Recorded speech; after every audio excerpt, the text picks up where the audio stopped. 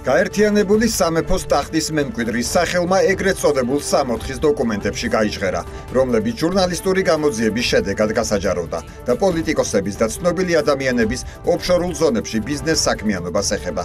დოკუმენტების თანახმად ირკვევა, რომ პრინც ჩარლზის კუთვნილმა კომპანიამ ოფშორულ ფონდებსა და კომპანიებში 3 მილიონი ევროს ინვესტიცია განახორციელა.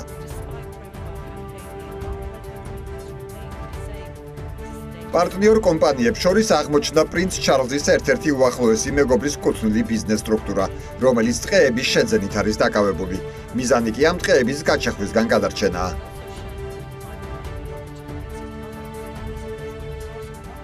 ჟურნალისტები ადასტურებენ, რომ თავად პრინცი ჩარლზი გადასახადებს სრულად იხდის, თუმცა მეგობრისთვის ფინანსური სახსრების გადაცემის ფაქტი მედიის აზრით უხერხულობას იწვევს.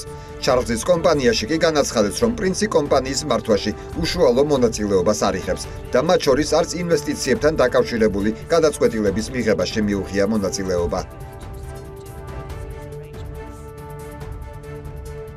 იქამდე 60-ის დოკუმენტებიდან ცნობილი გახდა, რომ ოფშორულ ზონებში ინვესტიციები თვით დედოფალმა ელისაბედმას განახორციელა.